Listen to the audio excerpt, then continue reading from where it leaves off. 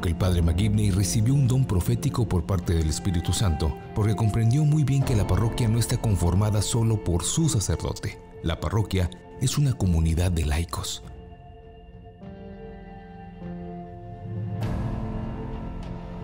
El carisma del padre McGivney, los principios de caridad, unidad y fraternidad, que consiste en vivir la fe cristiana con pasión y congruencia, es algo atractivo para los católicos de todas las culturas. El Papa Francisco ha dicho que el mundo es como un hospital de campaña, y ahí es donde están los caballeros. Están en el mundo, tratando de ayudar a tanta gente como sea posible. Así como el sacerdocio es universal, el carisma del padre McGivney es universal, ya que fue primero y antes que nada un sacerdote que se ofreció a sí mismo por completo a los otros, que se entregó por completo al servicio de Cristo. Creo que vale la pena ir al pasado y descubrir quién fue el padre McGivney, cómo vivió su vida. Nosotros los sacerdotes y obispos necesitamos poder aprender algo de su liderazgo. Hoy en día el mundo necesita desesperadamente una nueva sensación de hermandad y solidaridad. Al fundar Caballeros de Colón, el padre McGivney nos dio una forma práctica de dar un mayor sentido de caridad y unidad a la sociedad.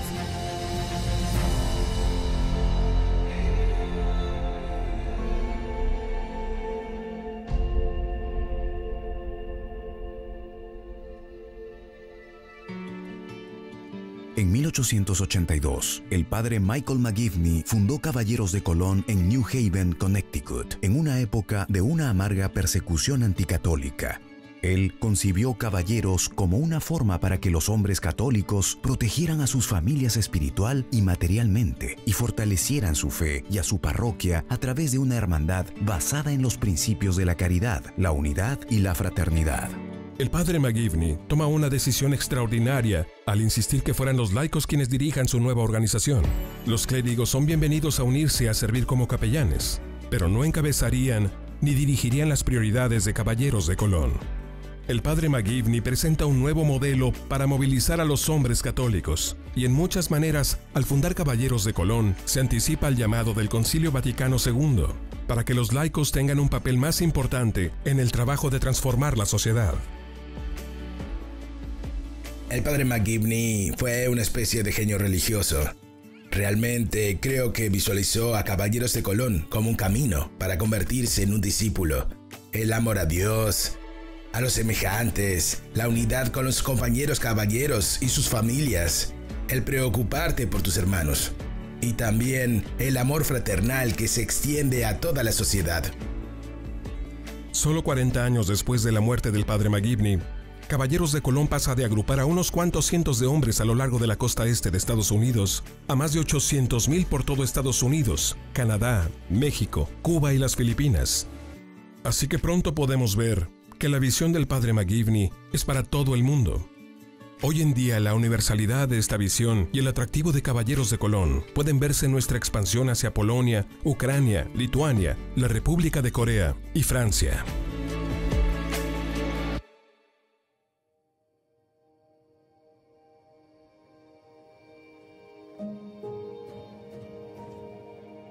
Mi nombre es Yuri Maletsky. Actualmente soy diputado de Estado de Caballeros de Colón en Ucrania. Caballeros de Colón comenzó sus actividades en Ucrania en 2012. Durante 10 años hemos estado ayudando a niños con necesidades especiales. Cuando los caballeros comenzaron sus obras, pudieron atraer otras personas que también querían ayudar. Sabemos que no todos los padres y no todos los niños están bien. Muchos apenas sobreviven.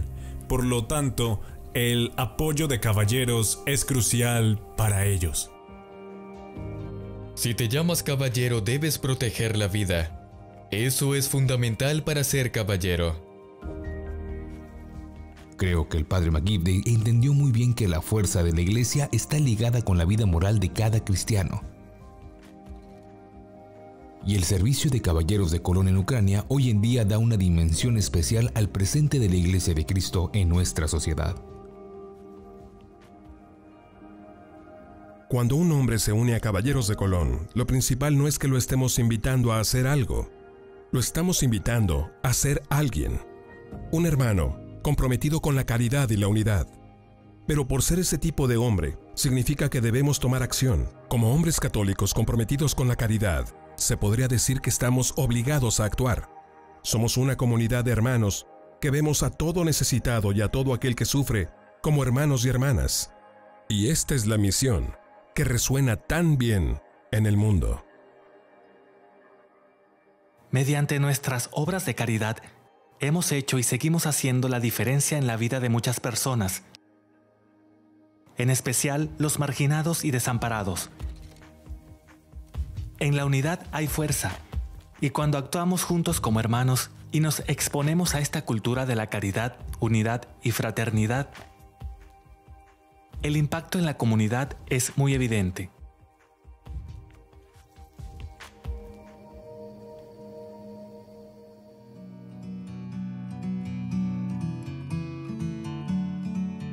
Hay una verdadera sensación de unidad y fraternidad cuando eres caballero. Es un buen lugar donde los hombres católicos se reúnen a compartir su fe entre sí.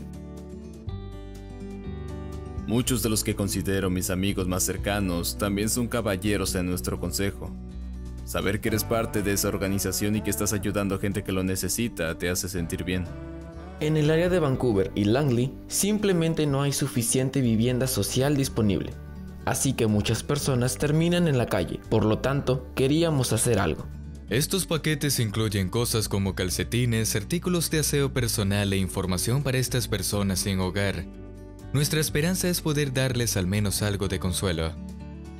Nunca sabes de dónde sale esta gente. Les das un paquete y se quedan platicando. Muchos de ellos buscan esa conexión, así que el poder está ahí, y platicar con alguien durante 10 minutos para mí es una experiencia maravillosa.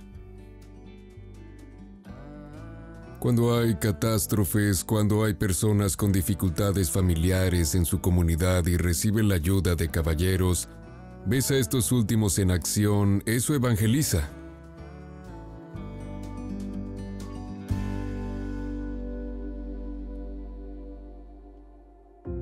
가난한 이들의 옹호자이시고 미망인과 고의 옹호자이신 우리 아버지 하느님 그리스도인 가정 생활의 사도가 되게 하시려고 또 젊은이들로 하여금 그들 이웃에게 너그러운 봉사를 하도록 이끄시기 위해 당신의 사제 마이클 제이 맥기브니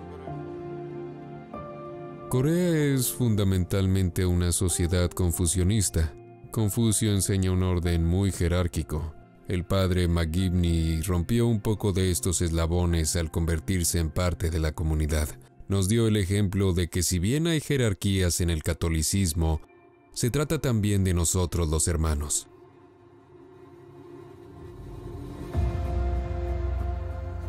Me bautizaron como católico hace casi 60 años y he vivido como tal y como creyente toda mi vida. Sin embargo, no apreciaba el significado de la comunidad. Luego me invitaron a unirme a Caballeros de Colón y a vivir la fe con base en los principios de caridad, unidad y fraternidad que el padre McGivney nos enseñó al fundar Caballeros de Colón. Esto tuvo gran efecto en mí, pues me enseñó el valor de la fraternidad. Ámense los unos a los otros como yo los he amado. Es un gran mandamiento de amor mutuo. Así que los miembros de Caballeros de Colón queremos llevar a la práctica este amor mutuo en la realidad, de manera que tenga el poder de transformar a otros Hay más de 11.000 trabajadores migrantes en Corea del Sur, como saben. Es una población realmente descuidada en este país. Así que comenzamos a ayudar a los centros de migrantes a través de Caballeros de Colón de Corea del Sur. Todo lo que hacemos se basa en la visión del Padre McGivney. Caridad, unidad y fraternidad. Venimos hoy al refugio para la paz para trabajar en obras de reconstrucción para que los refugiados estén cómodos. Los caballeros coreanos nos hemos reunido aquí para seguir demostrando el amor a nuestros semejantes y continuaremos luchando por vivir vidas caritativas.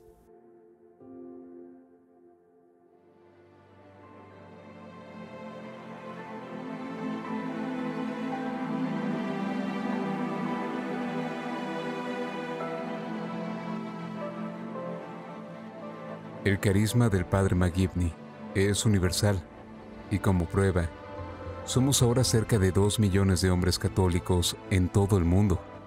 En las Filipinas hay 500.000 miembros de Caballeros de Colón, todos ellos realizando lo que llamamos fe en acción, combinando nuestra participación en la iglesia, la familia y la comunidad.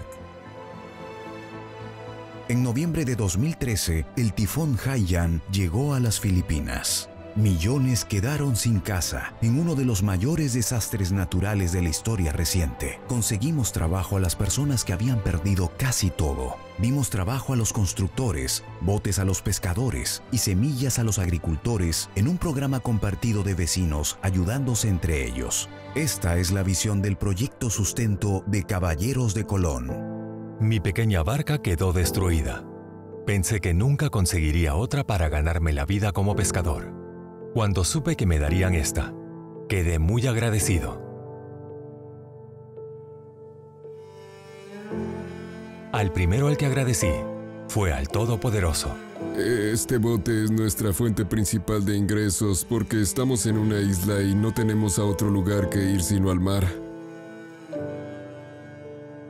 Así que realmente necesitamos botes.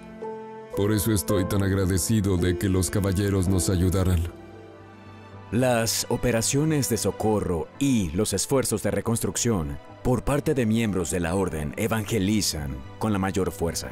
El aumento en la membresía en muchas zonas estuvo motivado por lo que hicieron los caballeros de Colón durante estos tiempos de necesidad.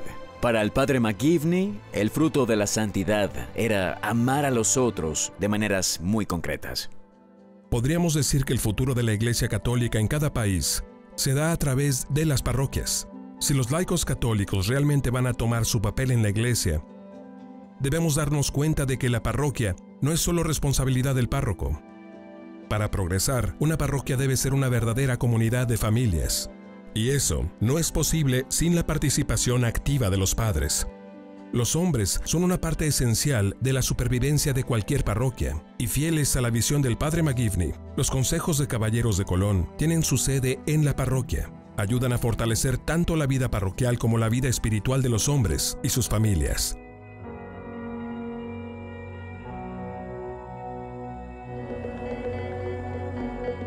La manera en que Caballeros de Colón está fortaleciendo las parroquias en mi país es teniendo una parte activa en la vida espiritual del país, redescubriendo el sentido de la adoración eucarística y el significado de la confesión.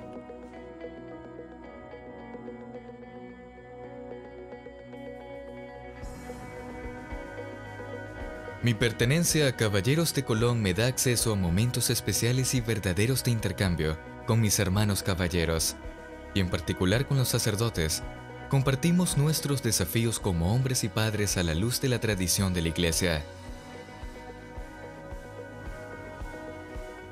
Tengo que decir que estoy muy orgulloso de ver a hombres de mi parroquia llevando a cabo acciones juntos. Actividades de una forma que no habría sido posible si no fuera por los caballeros de Colón. Cuando llegué a mi parroquia, una muy popular cerca de la ciudad de Versalles, en Francia, me pregunté, ¿dónde están todos los hombres?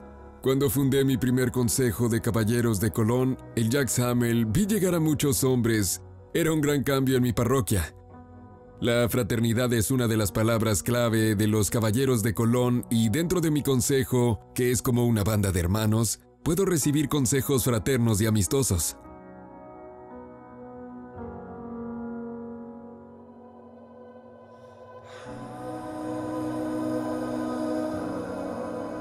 La generación de mis padres luchó por una Polonia libre y el camino a ella fue el movimiento Solidaridad. Tras la caída del comunismo y la libertad recuperada, surgió una pregunta. ¿Solidaridad es solo un movimiento político que provocó la caída del comunismo o es una virtud que puede existir en esta época de libertad? La fraternidad que Caballeros ha construido es un intento por completar la revolución de la solidaridad, un intento de demostrar que esta es posible en tiempos de libertad. Creo que ha habido muchos ejemplos en los últimos 15 años de la presencia de caballeros de Colón aquí, la hermosa relación que se ha establecido entre los miembros de Caballeros de Colón o en las distintas comunidades donde Caballeros opera, demuestra que esta hermandad puede atraer a las personas y reconstruir esa solidaridad local.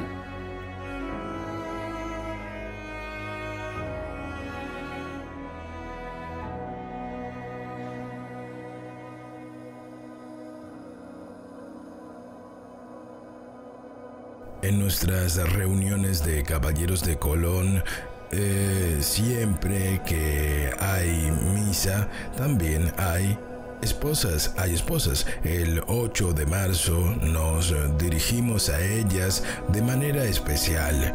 Los caballeros de Colón trajeron flores y se las dieron a todas las mujeres, flores y deseos hermosos un hermoso mensaje de que la familia es la base de la vida cotidiana.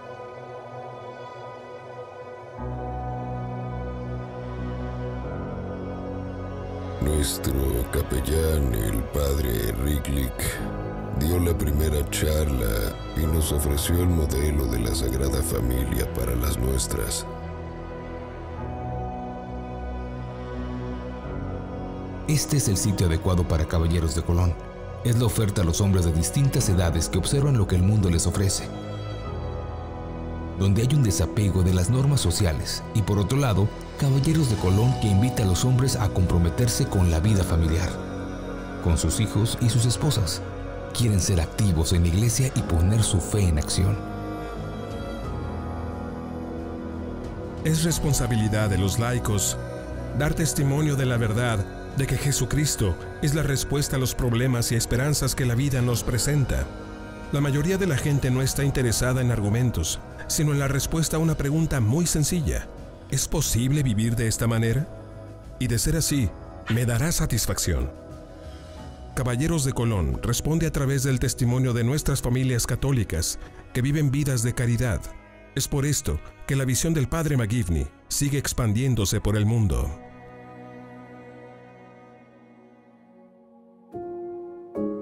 Caballeros de Colón llegó muy pronto a México, en 1905, y para 1924 ya había Caballeros de Colón por todo el país, impactando con sus actividades a un país que sufría por la revolución y las luchas por el gobierno.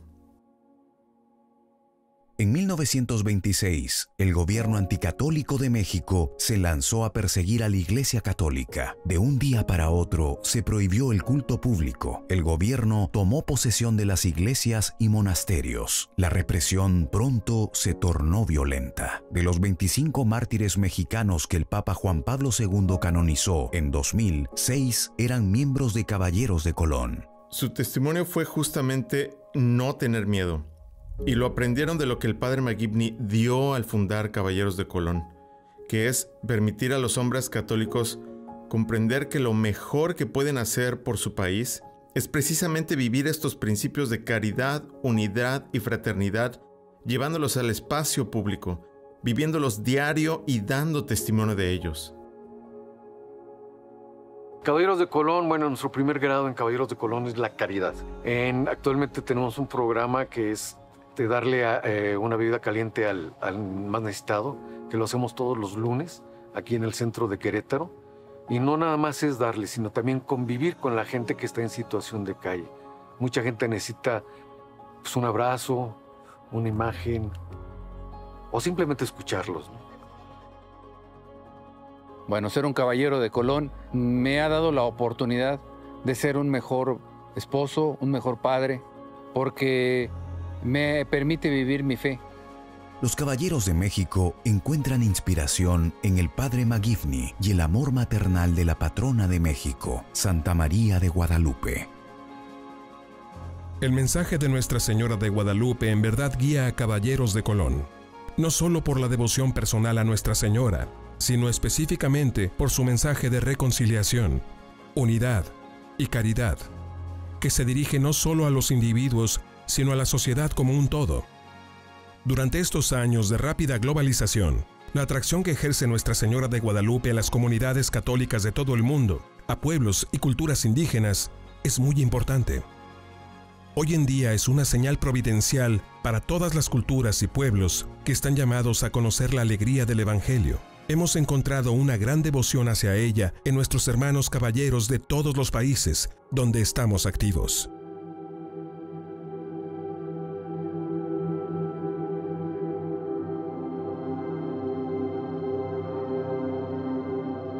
En el verano del 2014, el Estado Islámico se apoderó de gran parte del norte de Irak en una rápida campaña ofensiva que tomó a todos por sorpresa.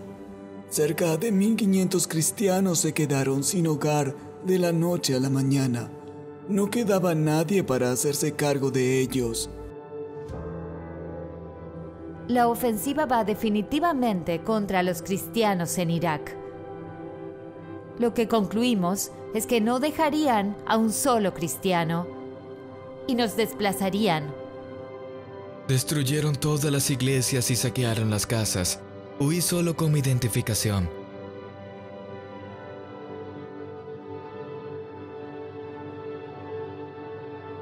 Pedían rescate para liberar a quienes detuvieron, o si no los matarían.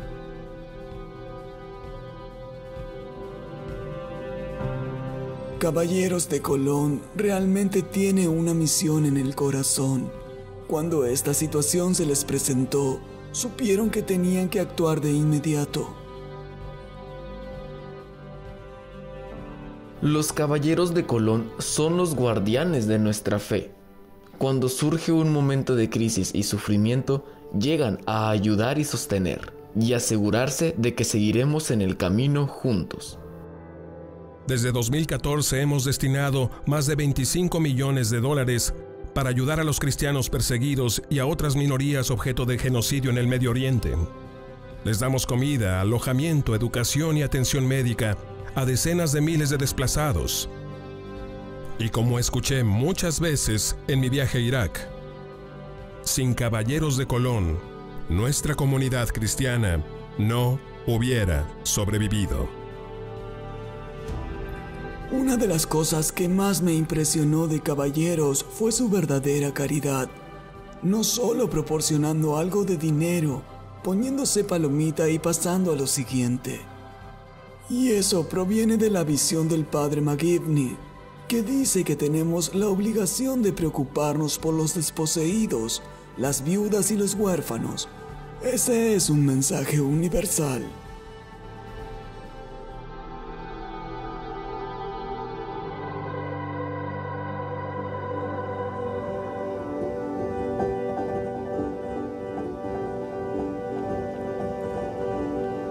Conocí al padre Michael McGivney hace 29 años, cuando me convertí en caballero de Colón.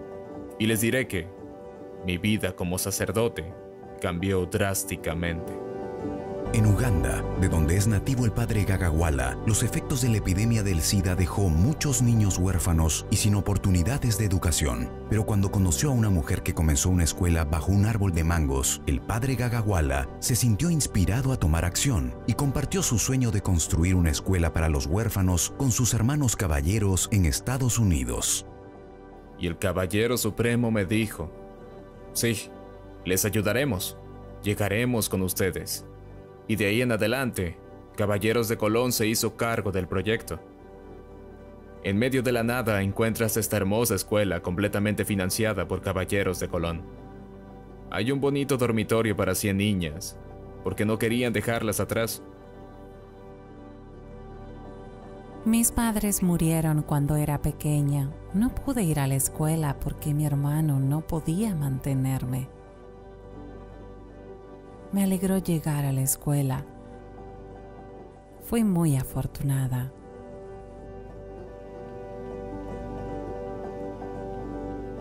Lo que entendió el padre Michael McGivney No es una caridad para sentirte bien, sino como un objetivo.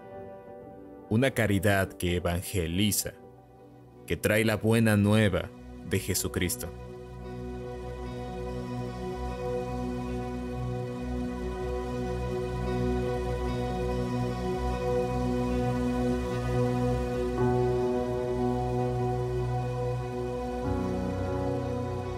Este es un lugar donde la gente puede venir y rezar.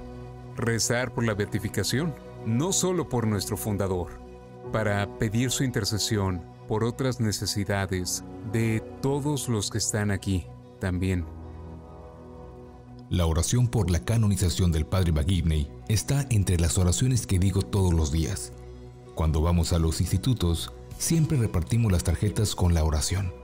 Hasta la fecha hemos repartido 70.000 tarjetas de oración, así que hay 70.000 personas que han sido impactadas por el Padre McGivney.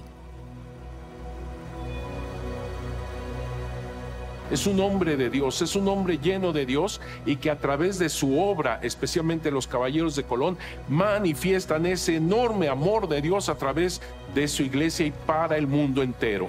Por eso me parece muy importante que sea reconocido este sacerdote católico americano. Nuestros miembros y yo sentimos una profunda gratitud a nuestro Señor por darnos al Padre Michael McKimney para nuestra iglesia. Él era un excelente ejemplo de la práctica de nuestro amor mutuo en tres formas. Caridad, unidad y amor fraternal. Me alegra haber recibido la buena noticia de que el padre Michael McGivney será beatificado en un futuro próximo. Es un sacerdote que puede ser un ejemplo para todos y también para mí como el pastor de la diócesis. No puedo olvidarme de este asunto tan importante, de este mandamiento tan importante de cuidar de los más pobres, de los pequeños. La beatificación del Padre Michael es tan importante para los caballeros en primer lugar porque es el fundador. Es importante porque es la iglesia la que reconoce a este hombre santo y dice que tiene un gran modelo. Puedes confiar y seguir sus pasos porque él siguió los pasos de Cristo. Ciertamente la beatificación del Padre McGivney promoverá su trabajo de caridad, unidad y fraternidad en todo el mundo. Es un paso significativo para demostrar el atractivo universal de su visión. Durante más de un siglo, millones se han beneficiado de esta visión vivida por los hermanos caballeros y sus familias. En los años venideros, creemos que las vidas de millones más se transformarán a medida que los caballeros continúen siguiendo el camino del Padre Magivni de caridad, unidad y fraternidad.